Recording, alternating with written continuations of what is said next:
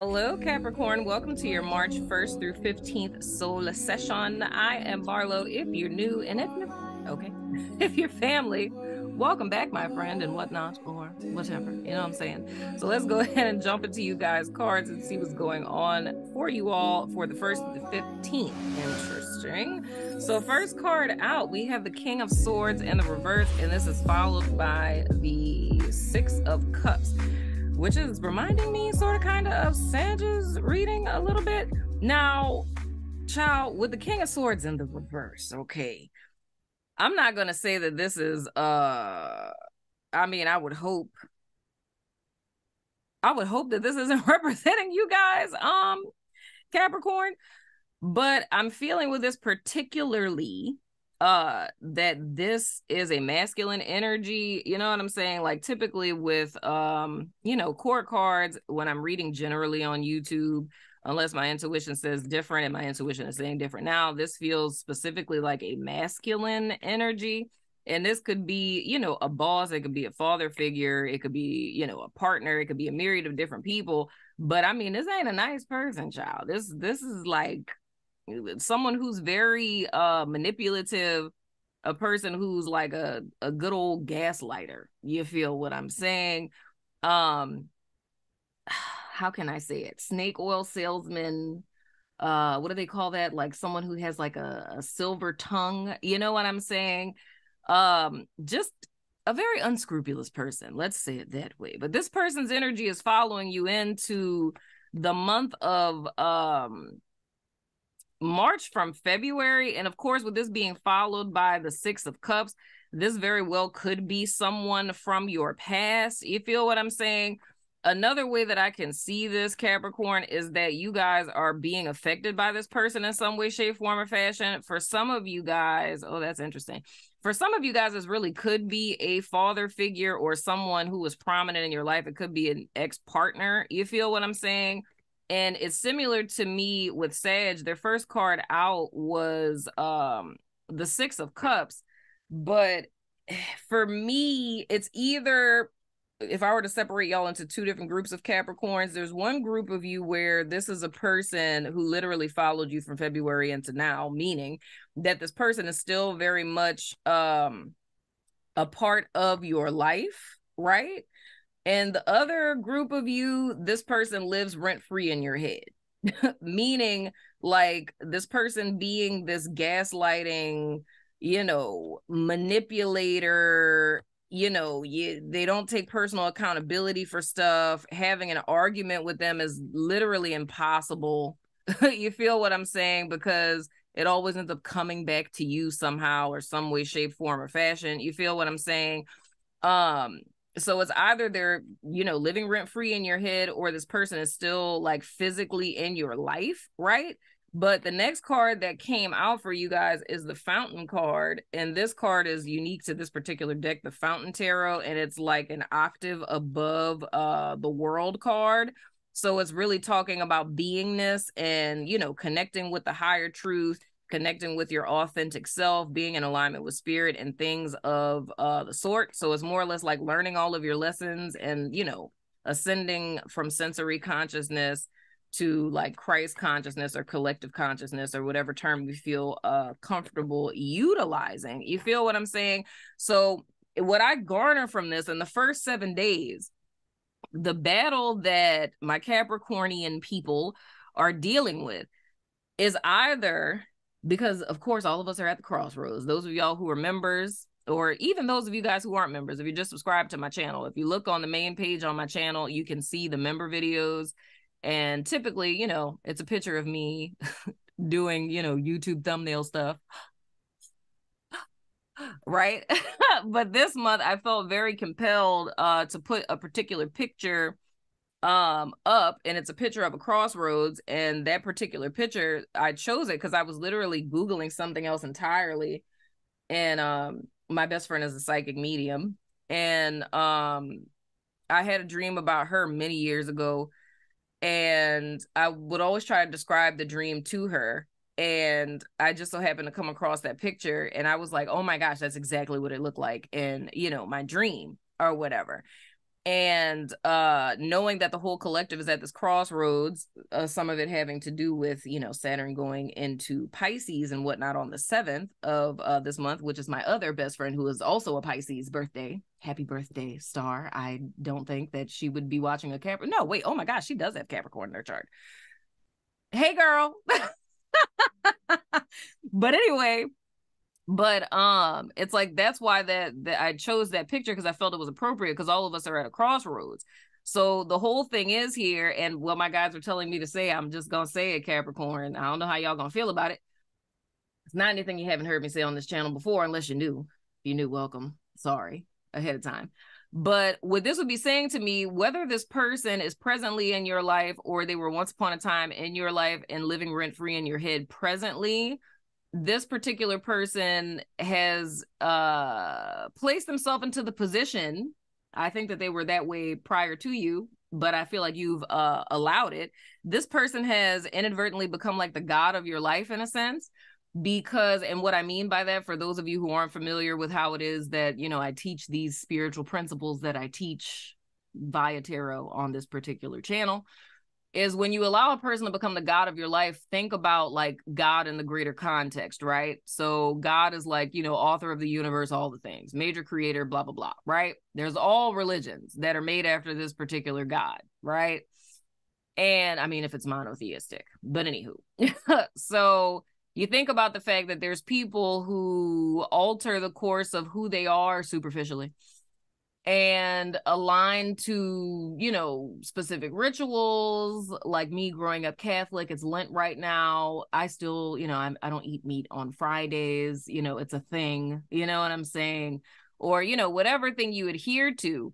And the reason that you're doing that is for whatever your religious belief system is for this you know benevolent figure right that determines i mean if you're in you know most of the the i mean not judaism but you know in uh islam and um in christianity whatever facet of christianity whether it's catholicism or you know the myriad of different uh protestant sects of uh christianity uh that you know there's a heaven or hell to go to you know what i'm saying? So you want to be on your best behavior you want to behave the right way and say the right things and do the right things so that you can ultimately go to heaven right? So you alter your behavior in hopes of you know god thinking that you're good enough or you know jesus not telling you depart from me i never knew you you know what i'm saying so you alter your behavior for this benevolent figure based on this belief system, right? To try to gain this person's approval so you don't spend an eternity in torment, right? Is the general uh synopsis, right? And this is, you know, me still a licensed minister giving a quick, you know, synopsis of such things. But anywho, we're thinking about in the context of that, but when we bring this down to making a human being your God, it is the same concept. It's the fact that, and I often see this with people who are in relationships or children of people who are narcissists, right? Where you now create yourself not in the image of a benevolent, you know, creator. You create yourself or recreate yourself in the in the image of a malevolent human, right? That has somehow put themselves into a position in your life where they are telling you how you should, ought, or supposed to be you know what I'm saying? And that's whether if it's a particular person or if it's a collective of people. you feel what I'm saying? Because we have a great deal of that um, happening in our, our day and time. It can be a whole collective of uh, people, whether it's cancel culture, those are people who have become the god of other people's lives because it's the thought of being politically correct and the fact that you have to you know uh not speak your truth in fear of being canceled. Cancel culture would be like a hell proverbially speaking in the you know social media realm. If you think about it even in uh the the new hot thing on the streets if you think about it in the context of the manosphere right? You have a collective of people who are saying that this is the standard of how women should ought supposed to be right? And if you don't fit this particular standard that this you know collective you know has said right then you're going to be condemned to hell of getting a dog and dying alone. You know what i'm saying So it's more or less whenever you start altering your behavior, your personality, you start muting facets of yourself. And mind you, this is not a random tangent. This is still very much me talking about these first three cards in your spread, right? So whenever you're altering who and what it is that you are, right? Because you're being manipulated or gaslit, be it a person or we're speaking a group of people, that is when you make that person the God of your life because your salvation is contingent upon you falling in favor with this particular person. Now, what I can say is the third perspective of the two examples that I've given you is both of them are completely and utmostly farce and why I call myself the woke therapist. I can't even say call myself that because my clients started calling me that where the name came from.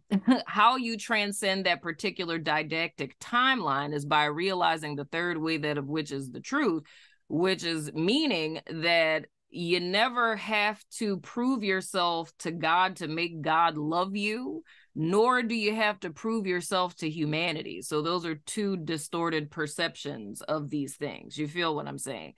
It's understanding like transcending this is the realization which is what why i feel that this fountain card is. See how i do this whole thing? Because we're talking about these two right here you feel what i'm saying? This is like the first and the seventh of march that we're talking about here. But i feel the whole thing with this is um in the first week of march you guys are being offered a sense of deliverance because i feel in some sense or another that capricorn people are um you know like uh enslaved, if you will, to a child of a lesser God, whether it be a concept, a group of people, or a particular person that was in your past or in your present. And you're being offered an opportunity for deliverance for you to transcend this particular, you know, antiquated timeline, right?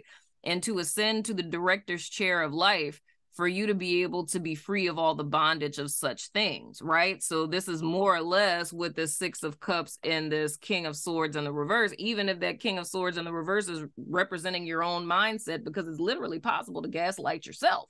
You feel what I'm saying? But it's like you leaving this past behind for a future that of which leads to eternity. You feel what i'm saying? And not eternity in the sense of like heaven but it's you transcending sensory consciousness. How did capricorn's reading get so deep and metaphysical? I have no idea. I am just the messenger. You feel what i'm saying? Anywho going into the second week of march the first card out that you guys have child look we have the empress in the reverse that's Taurus and Libra energy. Come on with it. Then we have the world child. Look, spirit trying to get y'all to learn some lessons. I always say the world card as well as the wheel of fortune. Y'all don't have the wheel of fortune, y'all just have the world. That relates to fixed signs. So that's fixed signs, Taurus, Scorpio, Leo, as well as Aquarius. And the last card that you guys have, come on with it, Dag Nabbit, son of a gun. We have the seven, seven of the cuppies in the reverse. So now we're transitioning from what the call is in the first half of the week. It's like leave behind this narcissistic person, past person, social construct, you know, society, group, cult, whatever the hell it is we talking about, child. You feel what I'm saying? And it's almost like you being wooed by spirit to like come into the light, Carol Anne. Step into the light, Carol Anne. You feel what I'm saying? To come into the second week of March with this Empress and the reverse, and that's letting me know what state of being that you guys are in at present. With the Empress in the reverse, that's like barrenness in the most proverbial sense. You feel what I'm saying? It's not feeling fruitful. It's not feeling that, you know, the creative inspiration that you once upon a time had is not really matriculating into anything. In the 3D sense, it could be that, you know, um you could be making a goo gobs of money, right? You could be making money, but it's like your heart isn't in it, or your heart isn't in the job that you're doing. Or if you're creating and putting content out, you feel that it's missing something because there is no breath of life in it, there's no soul in it. So there's a barrenness that's um reverberating if you will whether it's in your consciousness and your emotional space and and your finances like there's some sense of hollowness to it and it's more or less a call to bring life to it. Now, what is that life that we're talking about? That takes me back to the card for the seventh, out of which would be the fountain card, right? It's more or less with the Empress. The reason why the Empress's proverbial garden would ever, you know, be barren, because if we think about, you know, Rider-Waite Tarot here, if you look at the Empress card closely, you see there's like a little river You know what I'm saying? That's going through her little gardens, like her little Nile River. You know what I'm saying? But we're talking about the fountain. Okay. If we don't go to the river, come on, somebody, amen. Right? if we don't go to the river, if we don't go to the well of God, from which we drink of and shall never thirst again. Amen. Come on, somebody. I need somebody to shout. Turn to your neighbor and say, neighbor. You feel what I'm saying? If we don't go to the fountain, then everything that it is that we create devoid of our true essence or our true nature, that of which is an aspect of God, you know, Allah, whatever it is that you want called the divine. You know what I'm spaghetti monster God. I don't know. Whatever it is that you call the divine, higher power, whatever the case. Mega mind, I don't know, right? If you cut yourself off from life, that of which is what God would represent, then of course you're going to feel barren because you can still make shit tons of money. You can still write books. You know what I'm saying? You can still make videos. You know what I'm saying? If you a YouTuber, you could do thousands of podcasts. You could do buku stuff, but it's gonna be missing something. Like it just doesn't have that soul in it. Even if you're a songwriter, a singer, it's like you could make buku songs, but it just don't have that umph in it. You feel what I'm saying? It can sound beautiful but it's just missing something. Or like, you know, we say in the South, it's like, you know, it's missing you putting your foot in it. You know what I'm saying? It don't make you want to slap your mama. You feel what I'm saying? So I feel next with the world card being here, it's saying that's really what the lesson is that you guys are learning, not just in the first half of the month, but I feel the path that you've been on, because all of us are coming to a crossroads at this particular time. It's like there was a lesson that was intended for you guys to learn to where you're putting too much time, energy, and effort either in less than stellar things that past people have said to you, meaning that, like I said before, you've created yourself in the image of this particular past person, not meaning that you're trying to be like them, but whatever they said was wrong with you or faulty about you, you've created yourself in a way that's in opposition to whatever that person said was wrong with you, or you've created yourself in opposition to your past pain, which is a clear statement that you're disempowered to it. You know what I'm saying? That means that now that person, situation, circumstance, whatever the case, like I was saying, is the God of your life. So you aren't, you know, and this is me putting my therapist hat on a little bit. a lot of times we see ourselves as being empowered because we've altered and i literally wrote a whole manifesto about this on instagram. Not my tarot therapy instagram on the woke therapist instagram it's probably one of my last posts because i'm a horrible uh youtuber because i never post. But i think it's probably like the last post that i put up and it's a picture of me and it's like a long manifesto and i literally talked about something like this like when we make all of these changes in our life in opposition to something that's happened past tense it's like you're gonna wake up one day and find yourself as a complete stranger right? Because all of these things that you've done and this is very similar to what i said to sagittarius it's like all of these alterations that you've made to your personhood to prevent yourself from being hurt the way that you were screwed over that you were past tense and you thought that these were things that were keeping you safe and these are actually things that have been like you know killing you softly if you will. Hopefully i don't get demonetized for saying that. But that's the whole premise of this lesson right? Because that's pretty much telling me that like i said whether this king of swords is how it is you treat yourself in your head if this king of swords is your daddy you know what i'm saying your mama ex-boyfriend your mama i really do feel like it's a masculine energy. If it's a you know ex-partner you feel what i'm saying? Or if it's someone that's in your life now this person is what's standing between you and your deliverance right? Like everything it is that you like the person who was birthed from this connection with this particular person that false self if you will it's what's preventing you from aligning with your authentic self because you unknowingly are so far off track from the authentic self because it's almost like scabs that have built up. You feel what I'm saying? And the reason why, with the Empress in the reverse, that feeling of barrenness that you guys may be feeling at this particular point in time, not saying all Capricorns is just who resonate with this, you know what I'm saying? But that barrenness or that lack of inspiration or lack of creativity or not feeling fulfilled like all of that is coming from a place of saying that this is the main thing that's missing. Your garden isn't growing because there's no everlasting eternal waters that are watering it. You feel what i'm saying? But this entire cycle that you guys have been in with the world was for you to learn that lesson. You know i said in one of my books uh that my life without God is like Kool-Aid with no sugar, bitter. You feel what I'm saying? It's like outside of everything else, like nothing else in life matters to me or makes sense to me other than God. It's like nothing else makes sense. Like that's the only thing that has made life make sense for me up to this point in my life is literally my belief system because outside of that I have nothing else. I I don't see anything. Nothing in this world makes sense. And I think without that, you would feel like you're drowning in a vortex of just broken people and chaos. You feel what I'm saying? But it's like having that connection with a higher power and not just the connection, it's having that connection and understanding how to apply all of this spiritual wisdom that we're intaking on a regular basis to your life every day that completely transforms how it is that you maneuver and how it is that you move. And you really don't have to fraternize with a lot of the stuff that's going on in the world today because none of that stuff would even apply to you anyway because that's for people who don't have that. You feel what i'm saying? It's like they're trying to make sense out of nonsense as opposed to aligning with the wisdom and with the seven of cups and the reverse that you guys have as your card for the 15th, that's the whole premise. It's you guys coming back to your true origins. And by the midpoint of the month, like remembering, like, dog, I can totally see how this has been showing up for me. And you're seeing clear.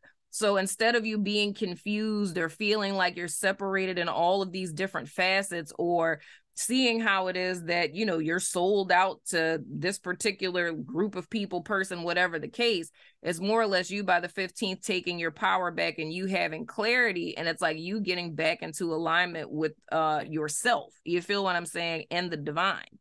And ooh chow at the bottom of the deck why all of this is happening you guys have the seven of wands in the reverse so um i don't know if you guys have sag in your chart I said something similar to who did I do before you?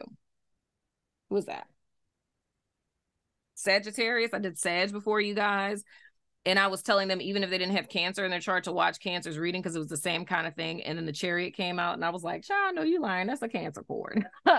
but I would say for you guys, I think it would behoove you to watch um Sag because I feel like this will kind of go more in depth to give you like a different perspective, even if you don't have it in your chart.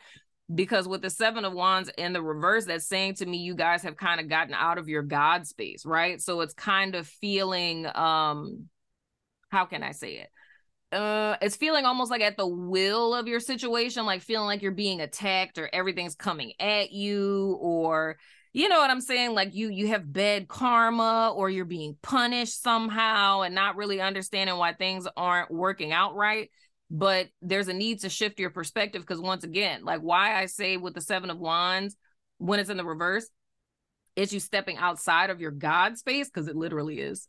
Because whenever you're in alignment you have a higher vantage point. So no matter what it is that's thrown at you or how people try to come at you it's not going to work because you just you're in the director's chair of life. I talked to Sage about that. It's like you have a higher vantage point. So it's like even if people are coming at you sideways you know what I'm saying? You're not really tripping about it. Even if somebody tried to mess over you, you still really not tripping because it's like if I didn't see it and they still messed over me, it's like, okay, there's a lesson that I need to learn in this, and it's not to completely shut myself down, right?